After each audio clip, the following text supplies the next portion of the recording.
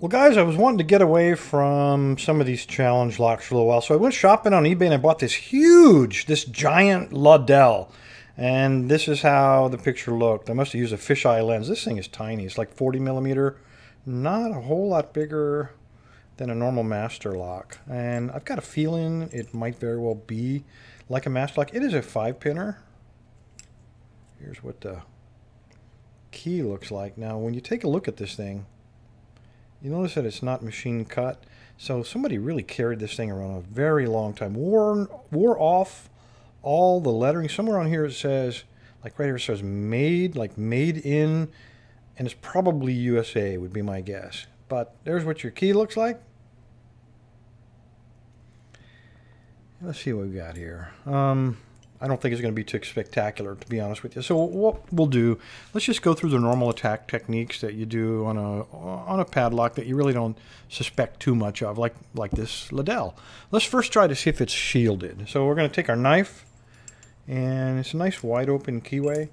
I'm just going to take the knife, put it on the side with the pins, push the pins down, and angle up like that. And then shove it all the way in the back, and then try to find the actuator. And we did, so it's not even shielded. Let's go ahead and close it up.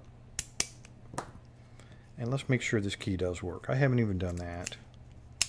I was so disappointed when I found this tiny lock inside of the package. All right, let's see if we can find another way to defeat it. Um, typical technique is shimming. So let's get some shims.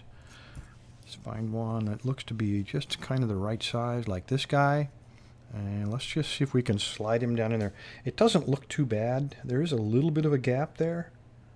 So let's shim the wider one first, and then we'll go for the other one. So just slide him in. And he slid, he went right in there. Let's see if we can just do it with one side. And we can. All right, so, oh, well, there's not even a cutout on that side. So one-sided locking on this Ludell. All right, another technique. This is so exciting. God, this piece of junk lock. All right, wide open keyway, but the bottom of it is open. So we're going to take the tension wrench, just find one that doesn't bind up against the bottom. And this this is the medium width. Uh, I got a uh, white band on it, like red, white, and blue. White is the middle. And then we're just going to take a rake. And I'm going to, for once, get to use my 25 thousandths. So slide it in, light tension, and let's see if we can get this Ludell to cooperate today. And we can. He's cooperating with everything. Why can't I? I was never able to get a date that would do that, but this lock certainly is. All right, um, we've raked it. Let's just try SPP in it.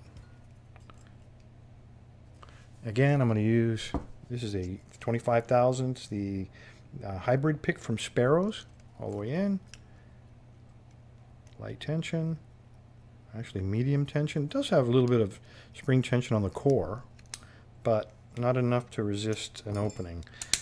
You know, he's being so cooperative. Let's just try one last thing. I'm going to take the tension wrench, stick him in there.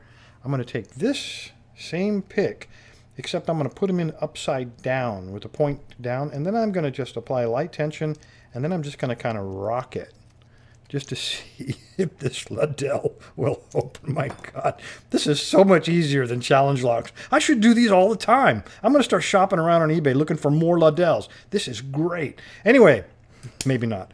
Fellas, if you see a giant Ludell listed on eBay, it's probably me. Go ahead and buy it. However much I'm asking, it's well worth the lack of security that you're guaranteed to get from this lock. Anyway, fellas, thanks for your time. Stay safe, stay legal. And seriously, stay away from Ludell.